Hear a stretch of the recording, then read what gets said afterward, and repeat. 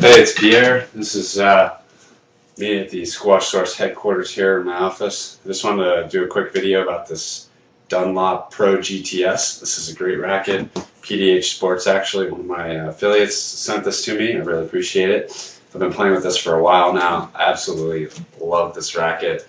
I've been playing with this kind of racket for, for years. This is the Hot Melt Pro. I don't know if you remember that from a long time ago. Um, it's pretty much exactly the same racket, you know, same feel, same head size. Um, and then the one in between, which I can't seem to find uh, lying around my house, but the Pro GTX, the prior model, same idea. It's got a sort of smaller head size, and this is, I think, 135 grams.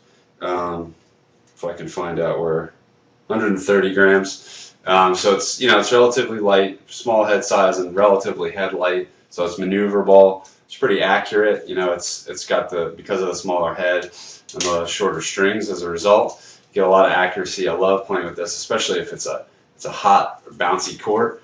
Um, really feel like you have a lot of control over it, and it's also easy to get in and volley shots. Um, so this is I've been playing with this for years, and and uh, and absolutely love this this one and. Um, wanted to just do a quick video to say, check it out. Thanks.